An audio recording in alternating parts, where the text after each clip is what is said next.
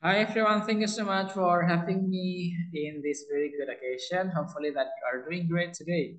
And uh, we're going to continue our discussion and talk about unit 1 masih membahas tentang unit 1. Unit 1 masih membahas tentang weather ya, sama seperti yang kemarin kita bahas. Oke, okay, uh, kita akan sedikit review sedikitnya. Ini yang kemarin kita bahas, we're talking about weather you talk about this, kemudian kita juga sempat membuat uh, warning ketika dalam situasi-situasi tertentu berdasarkan sign yang ada di buku ya. Uh, sign seperti ini bisa dibuka lagi di modul halaman 12 seperti yang kemarin kita sudah bahas. Nah, uh, untuk meeting hari ini, we're going to talk about this. Kita punya dua pembahasan. The first one is about conditional sentence. The second one is about weather forecast ya. Kalau untuk conditional sentence kita akan mencoba untuk membuat atau menuliskan conditional sentence tipe satu. Uh, yang kedua kita akan coba menulis, membuat uh, versi kalian tentang weather forecast. Kemarin kita sudah bahas weather forecast, sekarang kalian mencoba untuk membuatnya sendiri. Oke, okay. kita lanjutkan. We start with the conditional sentence type 1. Jadi condition sentence itu ada tiga tipe. Ada type 1, type 2, type 3. Nah, yang kita bahas itu hanya type 1-nya saja. Nah, before we go on, uh, you have to know the function of conditional sentence type 1. Fungsinya apa? Fungsinya itu untuk me, me apa namanya ya?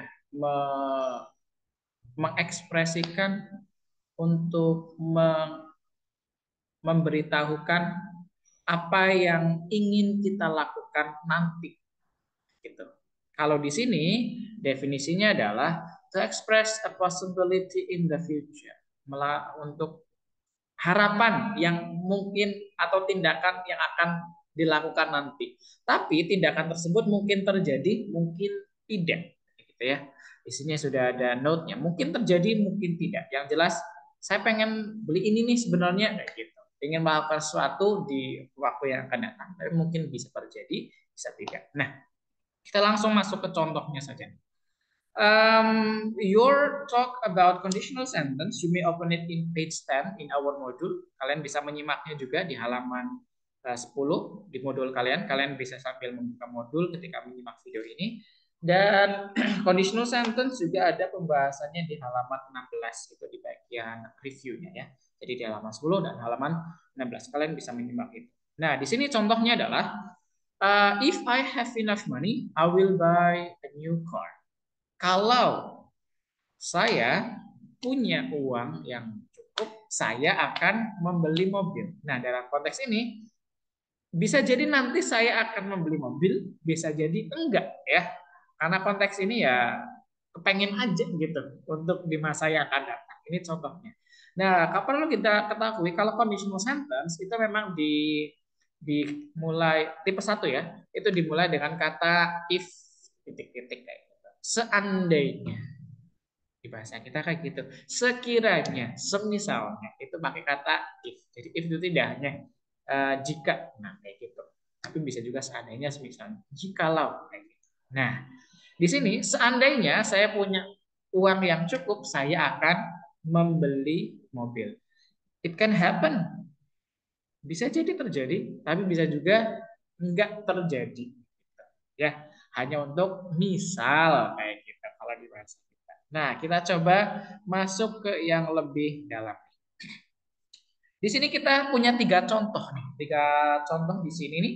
Itu masing-masing uh, konteksnya beda. Yang pertama, if I go to market, I will buy all I want. Kalau saya pergi ke pasar, saya pengen beli apa aja yang saya pengen. Bisa jadi terjadi, bisa jadi enggak. Yang jelas misal saya pergi ke pasar, saya mau beli apa aja. Itu permisalan.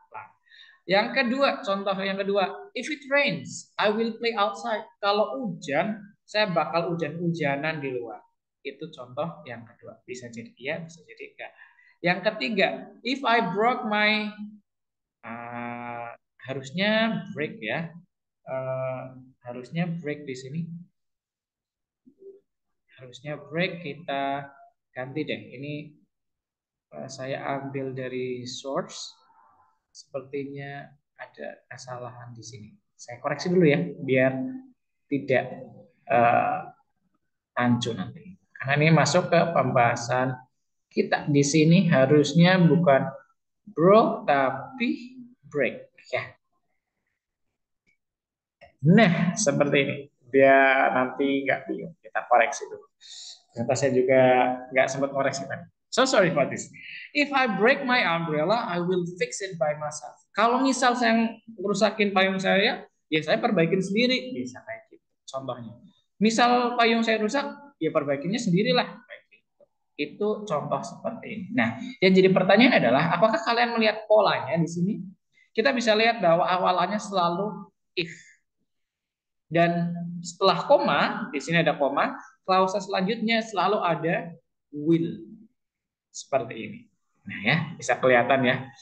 If I, if it, if I. Di sini I will, I will, I will. Nggak harus I will, I will semua. Bisa you, bisa he, bisa she. Tergantung uh, subjeknya ya.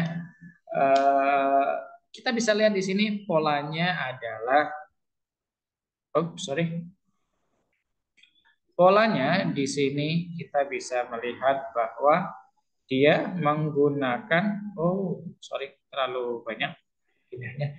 Polanya seperti ini. Ini pola yang kita miliki. Polanya seperti ini. Jadi ini pola yang kita gunakan untuk conditional sentence type 1. If tambah klausa atau if tambah subject Kemudian main clause-nya itu ada subject, will tambah verb. Dan ini semua di menggunakan simple present ya. Menggunakan verb satu verb satu semua. Ya, karena tipe satu selalu menggunakan verb satu. Nah, yang ingin saya uh, lakukan untuk aktivitas uh, di online sekarang itu kita diminta untuk menuliskan conditional sentence type 1 yang relevan terhadap sign-sign yang kita miliki. You may open your module page 17. In page 17, you have activity 4C. Di situ ada uh, sign ini ya. Nah, kita diminta untuk membuat conditional sentence type 1 berdasarkan sign ini. Ini sebenarnya sign yang kemarin sudah kita bahas. Ini yang ada di halaman 17, modul page 17. Ini diambil dari sini juga.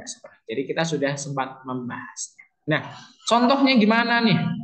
Contohnya, kalau misalkan uh, ini nomor 4, kan gambarnya hujan. Sayangnya hujan. Berarti kemungkinan nanti akan terjadi hujan. Nah, contoh di bahasa Indonesia-nya adalah, semisal nanti hujan, saya akan beliin kamu payung. Nah, itu contohnya. Bisa jadi nanti dibelikan, bisa jadi tapi itu untuk permisalan. Misalkan nanti turun hujan, saya akan naik Gojek gitu. Atau naik GrabCar boleh. Itu semisal seperti itu contohnya. Maka tinggal kita bahasa Inggris kan. Ingat menggunakan pola if seperti ini. If it rains, I will buy you an umbrella. Saya akan membelikan kamu sebuah payung. If it rains, I will give you my raincoat. Kalau nanti hujan, saya akan kasih kamu uh, jas hujan saya. If it rains, I will order a grab car. Oleh seperti itu. Jadi ada pengandaian atau semisal-semisal seperti itu. Nah, ini kita sudah tahu ya konteksnya kemarin kita sudah bahas konteksnya di kelas ini. Kalau misalkan terjadi tornado, nah ini kalau misalkan jalannya licin, ini misalkan ada angin kencang, ini misalkan ada cuaca yang dingin. Nah, kalian dimisa, uh, diminta untuk membuat conditional sentence tipe 1.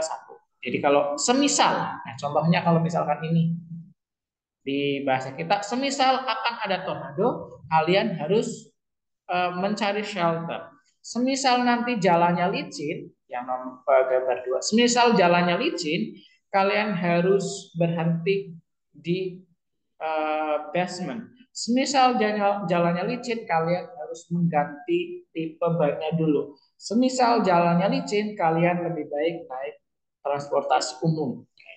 Itu contohnya. Jadi kita tinggal bahasa Inggriskan saja. If the road is slippery due to the snow, we will take a bus. Misalkan seperti itu. Jadi ada pengandaian semisal, semisal, semisal. Nah, itu menggunakan conditional verb satu. Nah, polanya ingat polanya seperti ini. If kemudian diikuti subject verb menggunakan present simple, kemudian diikuti subject dan will. Kemudian diikuti verb satu. Pakainya will ya. Jadi nanti kalian membuat polanya seperti ini. Ini sudah saya contohkan. If it rains, I will play outside. If it rains, I will give you my umbrella. If it rains, I will cook noodle. If it rains and blackout, I will just sleep in my room kayak gitu. Jadi misal hujan dan mati lampu ya saya bakal tidur aja di kamar. Itu contoh. So that's about conditional sentence type 1. And after that, we're going to talk about this. This is our second discussion. It's about weather forecast ya.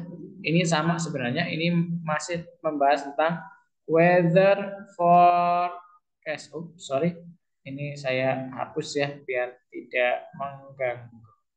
Oke. Okay. Nah, weather forecast kemarin kita juga sudah membahas ini ya kita sudah membahas teks ini di kelas, jadi saya rasa semuanya juga sudah bisa mengetahui ini konteks teksnya tentang apa sih. Kita sudah bahas teks yang notice satu, it's about coastal storm warning. nah, ini sebenarnya kan sama seperti weather forecast ya, teks yang ini di atas ini. Nah, saya pengen kalian juga menuliskan uh, teks semacam ini. Nah, Cara menulisnya seperti apa? Bagian-bagiannya seperti apa? Inilah yang akan kita bahas. Teks ini bisa kalian buka di halaman ke-13 di modul yang kita punya. Teks yang ini di atas ya, di halaman 13. Nah, sekarang kita coba bedah nih teksnya isinya apa saja. Ini kita sudah bagi per warna ya. Jadi kita sudah punya warna tersendiri untuk bagiannya. Kita mulai dari warna kuning uh, judulnya dulu deh. Notis satu, notis satu ini tentang uh, coastal storm warning. Kalau di kita mungkin bisa diganti dengan thunderstorm warning. Atau misalkan kalau kemarin di notis dua itu ada hailstorm warning atau hailstorm watch. Contoh. Nah, kita mulai dengan peringatan. Jadi yang warna kuning ini adalah peringatan. Kita punya notis satu dan notis dua di modul peringatannya sama, attention everyone. Nah, ketika nanti kalian menulis tentang ini, mulai dengan warna kuning seperti ini yang di highlight, yang di atas ini, yang di pojok, dengan kata-kata ini. Semuanya harus seragam menggunakan ini, biar nanti kita bisa seragam. Jadi kita mulai dengan satu expression. Attention everyone, seperti ini ya. Kemudian nanti kalian akan meng-highlight seperti yang di warna biru. Cuaca seperti apa yang terjadi? Nah, yang jadi pertanyaan ini weather forecast di mana? Di tempat kalian tinggal. Jadi kalian menerangkan cuaca di tempat tinggal kalian. Tempat tinggal kita kan mungkin ada yang tinggal di kosan, ada yang tinggal di rumah, ada yang tinggal di Purwokerto, ada yang tinggal di tempat lain. Jadi um, cuacanya mungkin antara satu tempat dan lainnya berbeda. Nah, you have to talk about the weather in your areas ya di rumah kalian tempat kalian tinggal. Di sini contohnya we have a coastal storm warning in effect. Nah, kita bisa menggantinya dengan beberapa contoh nih. Kalau di Purwokerto biasanya pagi hari itu panas, siang hari panas, sore hari hujan, malam hari hujan. Maka bisa kita ganti nih misalnya uh, cuaca di Purwokerto sedang tidak stabil itu bisa kita gunakan untuk yang warna biru. Misalkan unpredictable weather in Purwokerto during these days is extremely terrifying misalkan kayak gitu. Boleh seperti itu. Nah, jadi kita menerangkan cuaca seperti apa yang terjadi di tempat kita tinggal. Atau misalkan a hard storm is approaching in few days in my areas kayak Kalian boleh seperti itu. Jadi badai akan segera datang dalam beberapa hari di area sekitar. Boleh seperti itu. Disebutkan kotanya juga boleh, disebutkan daerahnya juga boleh. Atau misalkan we have a very unpredictable weather during these days. Cuaca kita beberapa hari ini itu sangat tidak terprediksi berganti-ganti. Nah, misalkan seperti itu. Kalian boleh meng-highlight satu kalimat aja, nggak masalah seperti di sini. Itu contoh yang bagus. Satu kalimat aja, jadi nggak perlu terlalu panjang. Cuacanya seperti apa? Kemudian dengan cuaca seperti itu, apa bahayanya nih? Nah, apa yang terjadi dengan cuaca tersebut bahayanya apa disebutkan kalau contohnya di sini a powerful storm is approaching our coastline bringing strong winds heavy rain and rough seas. Nah, kalau misalkan di Purwokerto uh, cuaca pagi sampai siang panas, malam siang sore sampai malam itu hujan, maka tinggal disebutkan uh, during the day from morning until afternoon, the weather is very hot. The sun burns your skin. Kayak gitu. Matahari bisa membakar kulit kita. Kayak gitu. But in the afternoon, before it's dark, and in the evening, the weather changes drastically.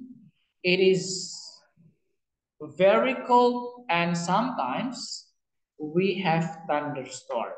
Dan kadang kita ada badai, ada geledek, ada petir dan sangat dingin sekali.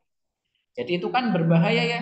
Eh, cuaca di pagi sampai siang itu panas sekali, membakar kulit kita. Kalau sore sampai malam dingin sekali dan banyak petirnya disebutkan di situ. Ini cukup satu kalimat panjang menerangkan apa saja bahaya yang Nah, selanjutnya dengan adanya cuaca seperti itu, ada bahaya seperti itu, apa tindakannya yang harus dilakukan? Nah, ini tindakannya kita highlight yang warna pink. Ini tindakannya. Contohnya di sini tindakannya apa? Uh, harus mengamankan eh, kapal-kapal, uh, kemudian harus mencegah da, akan terjadinya banjir dan kerusakan di pesisir pantai atau di bagian-bagian apa namanya barang-barang yang kita miliki. Stay away from short line and avoid unnecessary travel. Jangan melakukan perjalanan yang tidak perlu dan jangan ke tepi pantai. Itu contohnya. Jadi ada himbauannya apa nih? Tindakan yang harus dilakukan contohnya eh, kalau misalkan tadi kita bahas cuaca di Purwokerto pagi sampai siang itu panas sekali maka don't forget to wear jacket or you may uh, bring or prepare uh, sunblock, sunscreen ya during the day because it's very hot outside. Boleh seperti itu. Itu tindakan yang harus dilakukan actionnya. But uh, do not also forget to prepare your umbrella or your raincoat because during the afternoon or the evening the weather will probably change drastically and you will face rain misalkan kalian bisa tiba-tiba uh, kena hujan. Itu contohnya. Jadi ada tindakannya nih. Oh cuaca di pagi hari sampai siang panas. Sore sampai malam hujan. Berarti tindakannya apa? Pakai jaket, pakai gloves, pakai sunblock atau sunscreen. Jangan lupa menyiapkan umbrella, jangan lupa menyiapkan raincoat, jangan lupa menyiapkan boots kayak gitu. Nah, itu contoh tindakannya. Kemudian ditutup dengan closingnya, closingnya di highlight yang warna abu-abu, himbauan tambahan. Kalau himbauan tambahannya ya seperti inilah, kurang lebih di teks notis 1 dan 2 kan hampir sama. Keep informed about the weather progress during these days kayak gitu. Stay safe and stay prepared. Selalu seperti itu. Jadi kita menggunakan uh, closing yang sama ya. Jadi pembukaannya sama, penutupnya juga sama. Openingnya sama seperti ini, penutupnya sama. Kalau penutupnya tinggal disesuaikan dengan konteks masing-masing. Gitu. Intinya seperti itu konten yang harus kalian tulis. Jadi aktivitas kita itu ada dua. Pertama, you write uh, conditional sentence type 1 di sini ya. Nanti ditulis saja langsung di sini ya. Uh, di modul di sini ditulis berarti cuma tulis empat conditional sentence ya cuma empat karena ini sign-nya ada empat. Setelah itu kalian membuat weather forecast seperti ini. Kalian boleh menggunakan template ini um, untuk contoh yang akan kalian tulis. Tapi tentunya kontennya, isinya kan berbeda-beda. Cuacanya di tempat kalian kan pasti berbeda. Nah, nulisnya di mana? Kalian boleh menulisnya di sini ya. Ini kan di halaman 15, bawahnya ada blank. Kalian boleh menuliskannya di situ. Kan kita paling menuliskannya 6 atau 7 baris saja kan nggak terlalu banyak. Nah, kalian boleh menuliskannya di sini, di blank bawahnya sih. Oke, jadi kalau yang uh, conditional sentence jawabannya kalian boleh ditulis di sini. Kalau yang uh, apa namanya weather forecast, kalian menulisnya di sini. Setelah selesai, take a picture of your work, kemudian ditanda tangani, write your name below your signature, kemudian di-upload di on class di tempat yang sudah tersedia seperti biasa. Oke, jadi aktivitasnya kita ada dua. Pertama menulis conditional sentence di halaman 17, menuliskannya langsung di kolom yang sudah ada. Kemudian untuk menulis weather forecast-nya di halaman 15 karena memang tidak ada space yang khusus tersedia untuk menulis ini, tulis di sini saja di modulnya langsung di bawah. Kan paling cuma 6 atau 7 baris saja. Seperti itu. Contohnya, kita bisa melihat notis 1, notis 2 di halaman 13. Dan 14. Itu saja. Setelah selesai, setelah ditulis semuanya, ambil fotonya, uh, sorry, ditandatangani dulu, tulis namanya, ambil foto, terus di-upload di OnPass seperti biasa. So that's all, cuma sesederhana. Thank you. If you got any question, you may contact. Thank you. So that's all for our talk and our discussion today. See you when I see you. Stay safe wherever you are. Tetap jaga kesehatan. So have a good one. Bye bye. Thank you everyone for having me in this very great video.